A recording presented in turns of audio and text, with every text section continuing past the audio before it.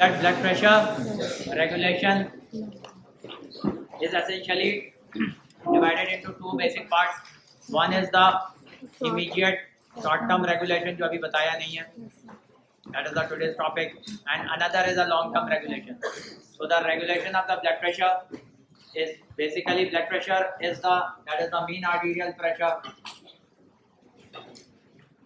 is given by cardiac output into peripheral resistance. So if we want to decrease or increase the pressure, we need to increase or decrease this peripheral resistance. That is the vascular resistance.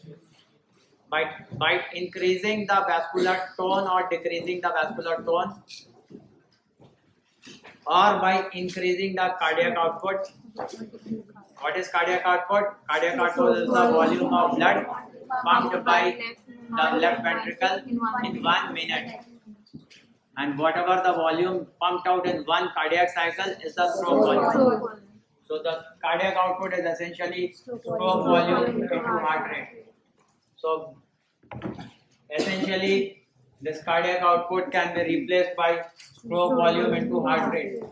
So if we have to control blood pressure, we need to increase or decrease either of these three values. And that is what the body does.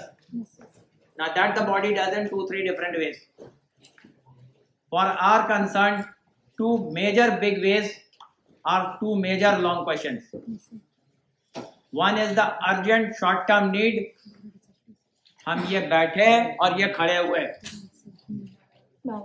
and I have a change in the pressure my pressure did not change much because certain second to second regulation took place that is the immediate short term but there can be circumstances different change in physiology of the body due to some disease or otherwise which can cause long term increase which needs a long-term change in the value process. Yes, that long-term change in the value process what brought about by the renin angiotensin and aldosterone system, which also I with in that same renin angiotensin aldosterone system is the standard RAAS, which I had added a couple of more A's. That A's are not part of the RAS, but that A's are basically giving you a small mnemonic. What are the other actions of angiotensin? Angiotensin 2 causes increase in the aldosterone, causes increase in the noradrenaline, causes increase in the ACTH, causes increase in the ADH. And which are in itself causing change in the peripheral resistance or in or any of these. Noradrenaline is causing this. So either of these are changing. With that, we had done the renin angiotensin system. Hmm. Adding to that, that renin angiotensin aldosterone system is also the same thing as tubuloglomerular feedback. Because in the yesterday's lecture, if you have seen, oh, that was yesterday's lecture was long-term regulation of blood pressure, which is renin, angiotensin, aldosterone system. That is the long-term regulation of blood pressure. Long-term BP regulation. So if the long question is long-term BP regulation, up you have to write renin, angiotensin, aldosterone system.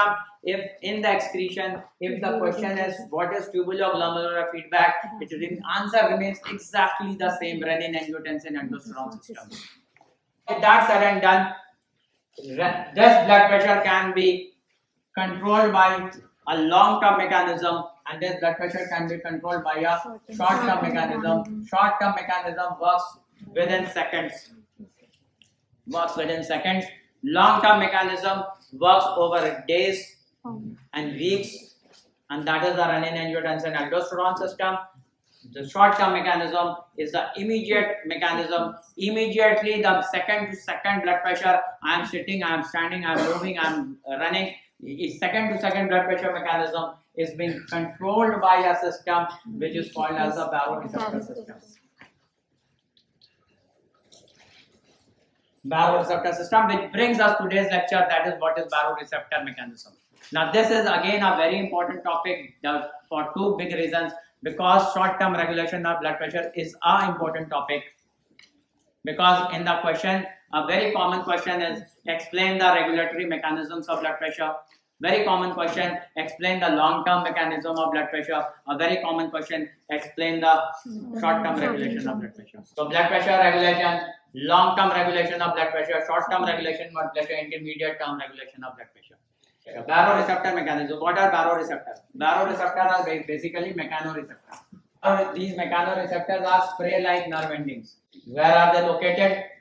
They are located. There are two kinds of place where the baroreceptors are located. One is in the carotid.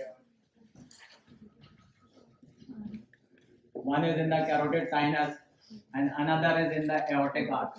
Aortic arch, एक, दो, तीन, चार, पाँच छः सात, आठ, नौ, दस, carried by nerve number दस. ठीक है? तो वेगस का और दूसरा वाला is carried by nine nine और टेन में कौन सा किधर है? कंफ्यूजन हो जाता है। We have the number of alphabets telling us कौन सा नाम किधर है। So aortic arch sends its signal by vagus nerve and carotid sinus send the signal by the by the ninth nerve that is the glossopharyngeal nerve ये पूरी कहानी जागृत कहाँ से हो रही है पूरी कहानी जागृत कहाँ से हो रही है पूरी कहानी जागृत यहाँ से हो रही है that blood pressure is equal to cardiac output into total peripheral resistance this total peripheral resistance this total peripheral resistance is always present in our body to maintain our blood pressure otherwise cardiac output तो pump करता और जैसे relax करता सारे arteries पिचक जाते नहीं पिचकते हैं that means somebody is holding them that means your resistance is somewhat always there that means somebody is maintaining a tone that tone is in the vessel and that tone is a efferent tone so that means it is not sensory, it is motor. So therefore you call it as a vasomotor tone. Your peripheral resistance is consistently getting a vasomotor tone. से अभी आ रहा हूँ? That story I am coming.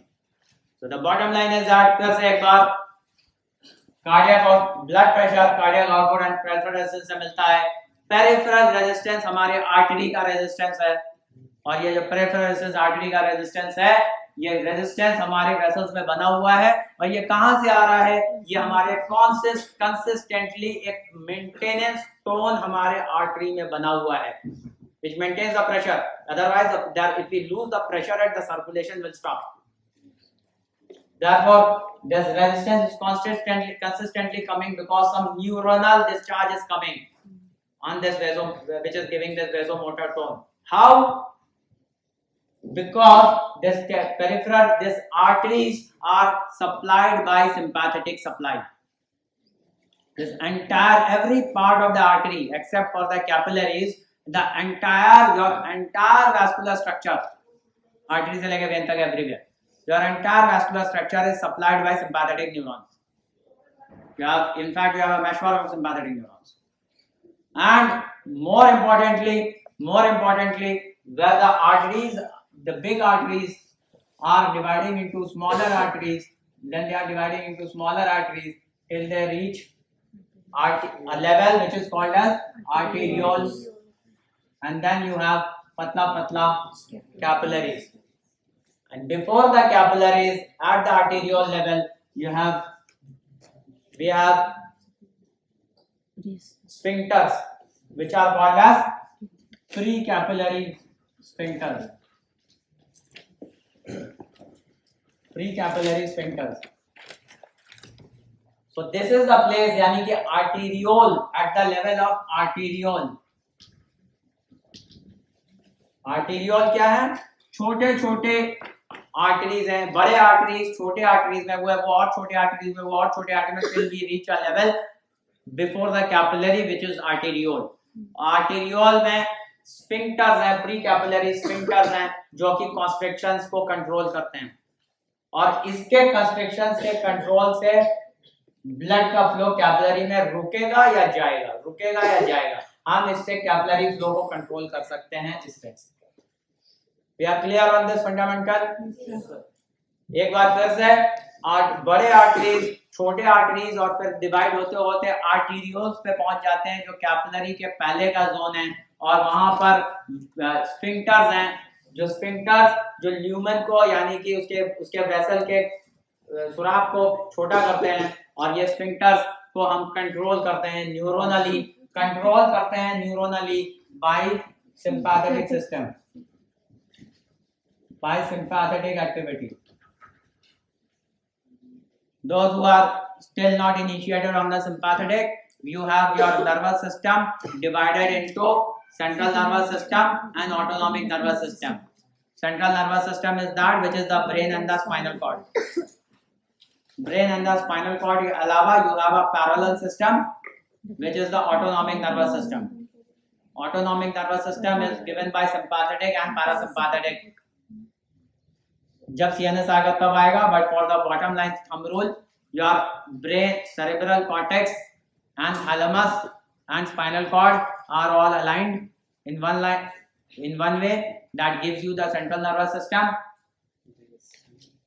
Thalamus is the secretary of cerebral cortex. Similarly, you have a parallel system which is called as limbic cortex and you have a hypothalamus. Limbic cortex and hypothalamus go together and they, they are the controller of the autonomic nervous system. Autonomic nervous system is controlling all the visceral activities of the body. You don't have to think your heart to beat or your lungs or your lungs or your intestine to peristalsis, your, your food to digest. Okay. So you don't have to remember that. So things are being going on inside. You do, you can move your muscle, but you cannot move your intestine because there is no somatic supply to the intestine. There is a visceral supply to the intestine which is through the sympathetic system. Similarly, you cannot you cannot control your arteries. Your sympathetic system can control your artery, your hypothalamus can control your artery. You cannot control your artery because it is not in the control of cerebral cortex. Are we okay? So yes, आपकी दुनिया, दो parallel nervous system की दुनिया है। एक आपकी voluntary control की nervous system की दुनिया है, जो सेरेब्रल कॉर्टेक्स से चलती है और और सेंट्रल नर्वस सिस्टम से गुजरती है। इसी दुनिया में कुछ जो फिजिकली जो नर्व ब्रेन से निकलते हैं क्रेनियम से निकलते हैं, उनको आप क्रेनियल नर्व कहते हैं, जो नर्व स्पाइन से निकलते हैं, उसको स्पाइनल नर्व कहते हैं। ये तो मेका ये तो जस्ट स्ट्रक्चरल हो गया। मगर फंक्शनली ये जो कंट्रोल है ये कंट्रोल इन्हीं नर्व के थ्रू जा सकती है। स्पाइनल नर्व के थ्रू ही निकलेंगी ये ऑटोनॉमिक नर्वस सिस्टम की भी नसें nerve but they are not in the cerebral cortex control they are in the control of the visceral cortex hypothalamus and the limbic cortex तो your entire vasculature is in the control of sympathetic control and इसमें बहुत बड़ा खेल आ रही है pre capillary sphincter arterioles and इसको contract इसको अगर आप if we constrict this with the sympathetic system then this blood will not move and and you and also this entire thing is also supplied by that not that ki only this is supplied but your entire thing is supplied by that and this is specifically known to create a drop in the blood pressure over uh, a drop in the flow over here और इसके contraction और relaxation से हम capillary का flow control कर रहे हैं और इसको अगर ये पंप बंद कर देंगे तो ब्लड फ्लो नहीं करेगा इधर से पंप ब्लड वेंट्रिकल पंप कर रहा है आगे फ्लो नहीं करेगा तो बीच के रास्ते में क्या होगा? प्रेशर बढ़ जाएगा। और आप कहोगे पेरिफेरल रेजिस्टेंस इंक्रीज कर क्योंकि सिंपैथेटिक सप्लाई ने इसको बंद कर दिया। और we clear on this fundamental so in effect ले दे के एक लाइन जो बात हम करना चाह रहे हैं वो बात करना चाह रहे हैं कि पूरा वैस्कुलेचर हमेशा एक टोन में है। और ये वैस्कुलर टोन आ रहा है जो सिंपैथेटिक दे रहा है। क्लियर ओके इस कहानी को खत्म यहाँ पे करते हैं तो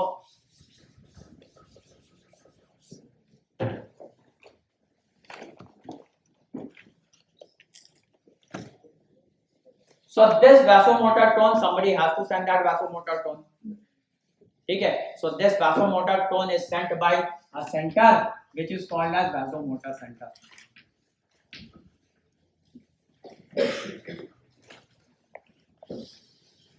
this is called as the vasomotor center.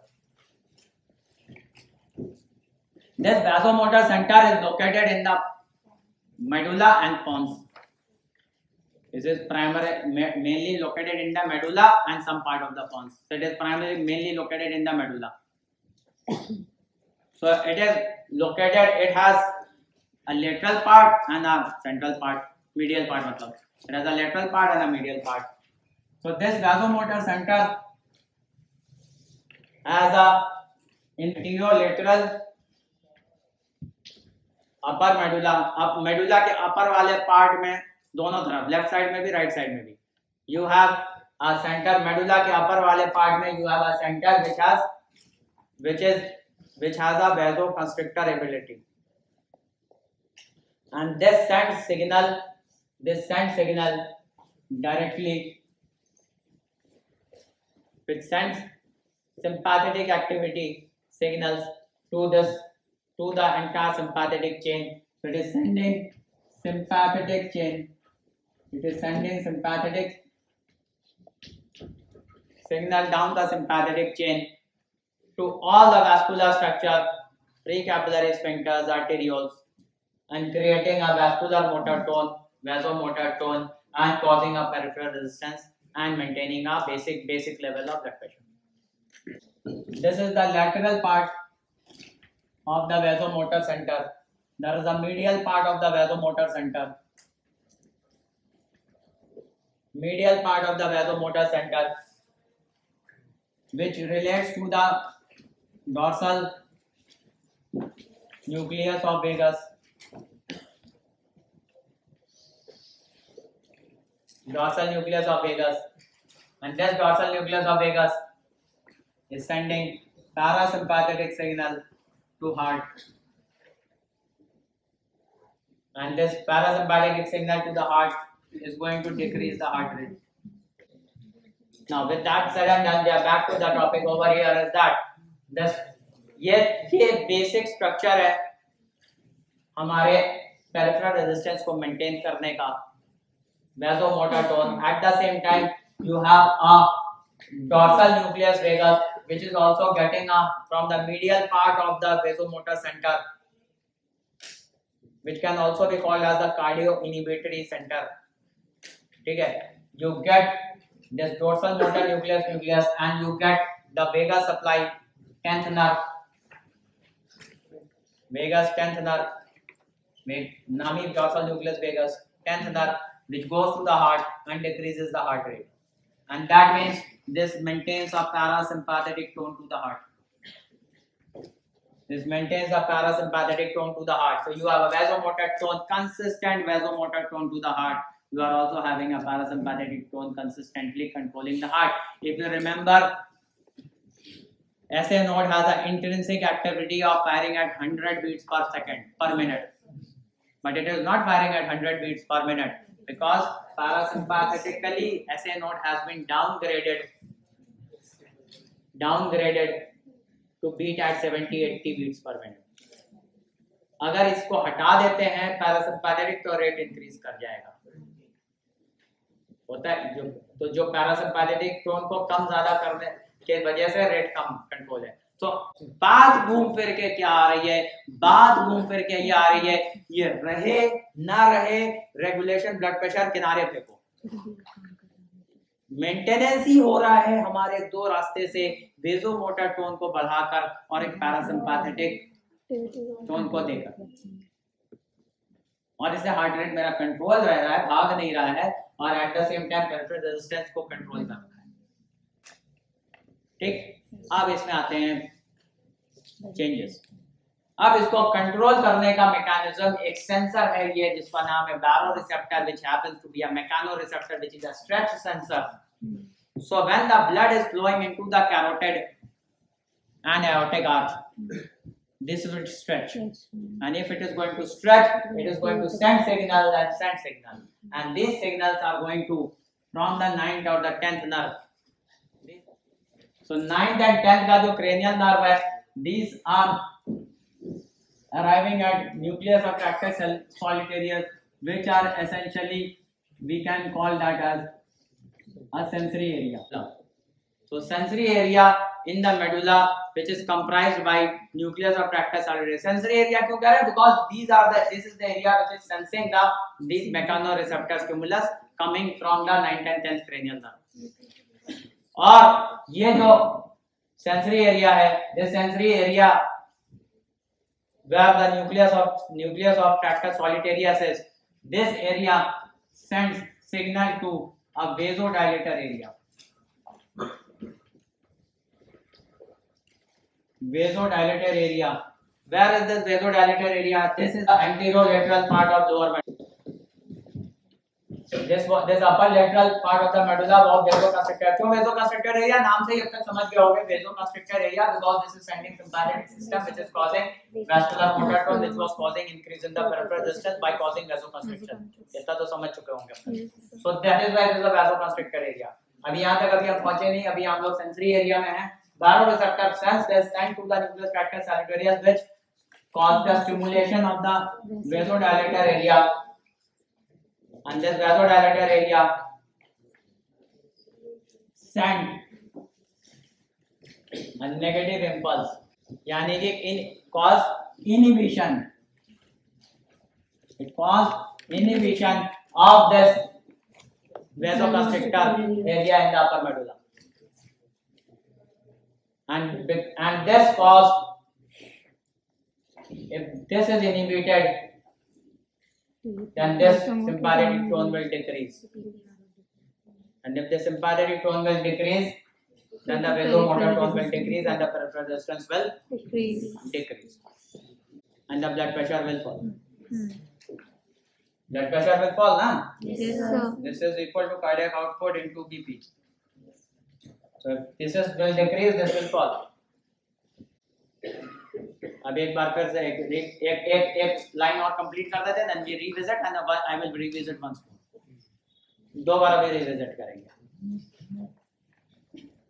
इसमें बस एक इंफॉर्मेशन और इनपुट करनी है। ना this process over here is controlled by glutamine is this signals are all positive signals these are all positive signals so these are all glutamines so this sends releases glutamate over here releases glutamate over here and this gets activated and this vasodilator center creates this negative impulse by GABA mnemonics glutamate G L U M A T E के आगे लिख लीजिए Exide है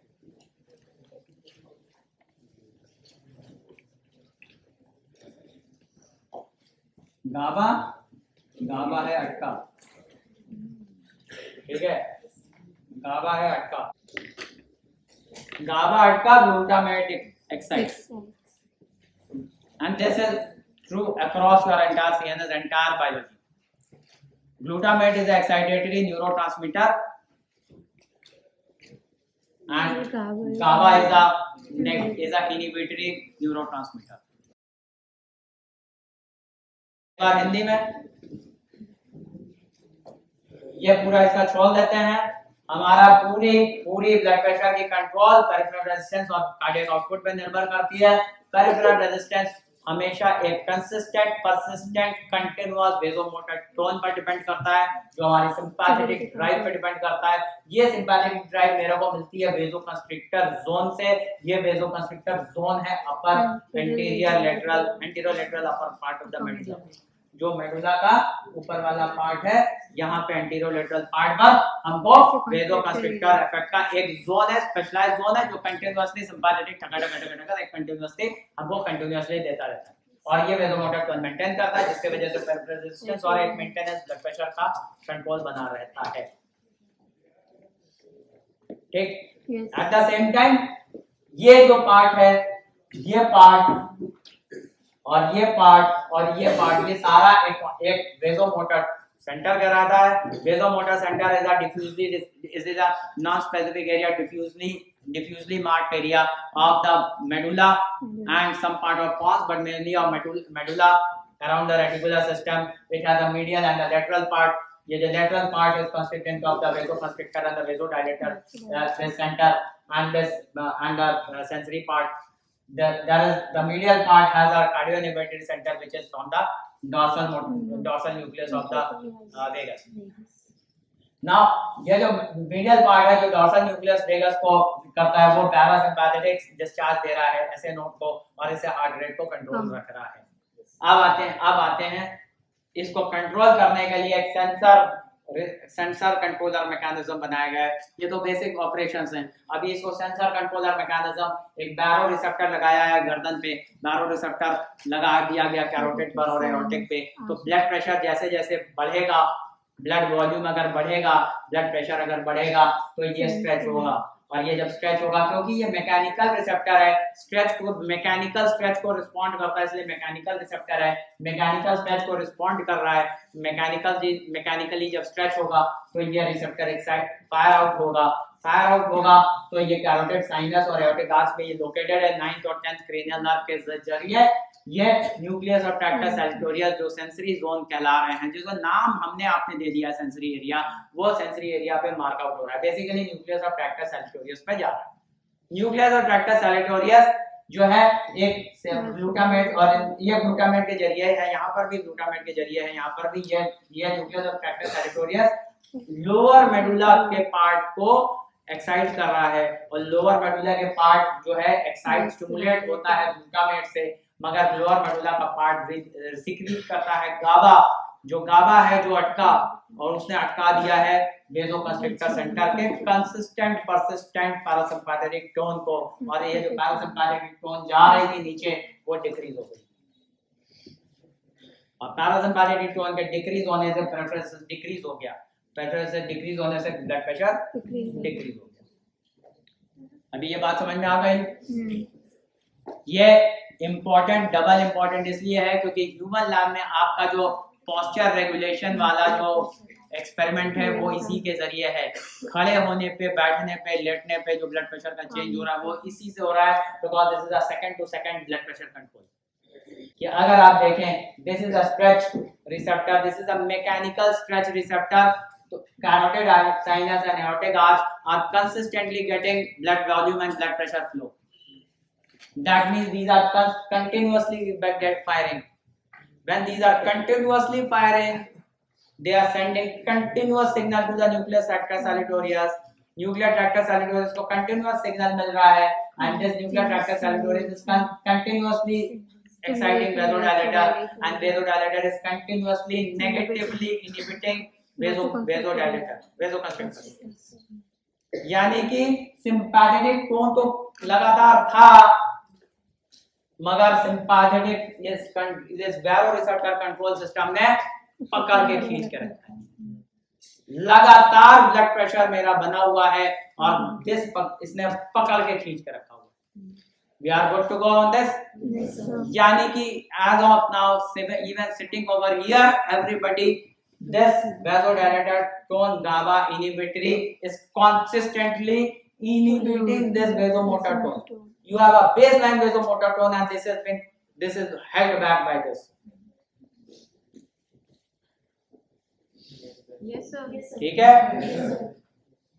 अभी सब लोग जैसे खड़े होते हैं जैसे ही सब लोग खड़े होते हैं तो क्या होता जैसे ही सब लोग अभी बहुत देर से बैठे हैं जैसे as you rise what will happen blood by gravity by default will pull will fall into by gravity the blood will fall down and the, as the blood will fall down, some amount of blood will fall from the carotid sinus and the aortic arch, and there would be a sec, a second millisecond fall in the in this over here, and there would be a जो stretch था that stretch would be slightly decreased.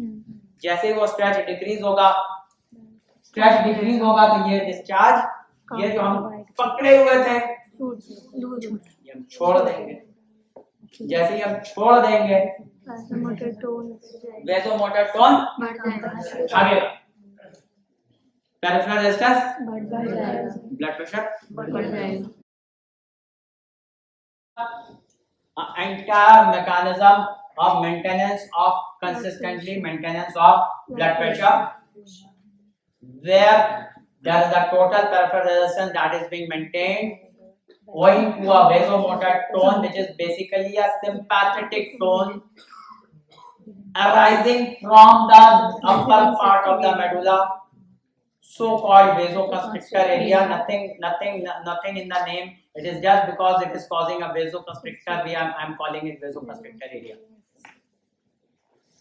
and this vasoconstrictor area is constantly discharging this as a vasomotor. And this is constantly causing the blood pressure to rise. And this would have risen infinitely. But there is somebody else over here located in the carotid sinus and the aortic arch are some mechanical stretch receptor which respond to the stretch owing to the increase in the blood volume and blood pressure and stretch of the of the arteries these mechanical receptors are stretching. And because of the stretch they would fire and they would fire through these nerves 9 and 10 and which the signal would reach the nucleus of tractus salutatorius and this uh, nucleus of tractus salutatorius is going to uh, uh, excite this uh, zone of the lower medulla this this area of the lower medulla because it has a functionally vasodilator characteristic therefore इसका नाम आपने vasodilator area बोला है this area is called vasodilator area basically it excites uh, and lower medulla Hmm. And this area of the lower medulla is releasing a negative uh, chemical which is called GABA. In shortcut GABA is going to GABA is going to inhibit this vasoconstrictor area. And therefore whatever this was there it is going to hold back. As I rise if you are all rise then what will happen? Immediately blood pressure will Fall.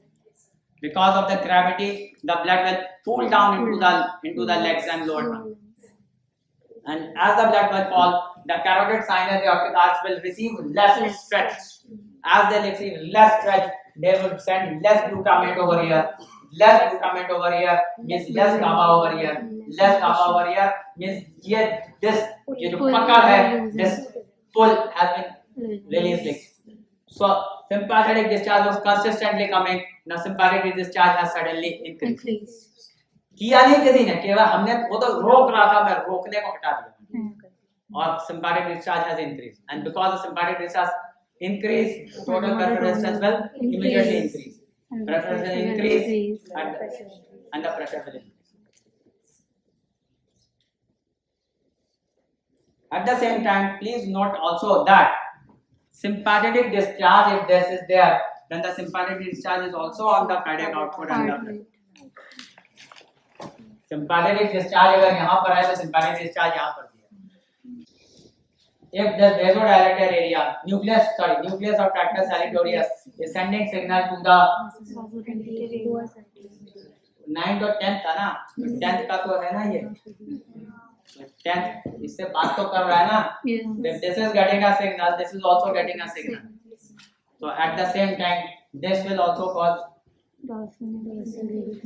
if this is excited this was also excited and this is also causing a parasympathetic control. So if the blood pressure is increasing if the pressure is increasing the rate control is over there. I'm trying to decrease i'm trying to keep the heart rate down and keeping the cardiac output down. So in effect in one go once more this is also causing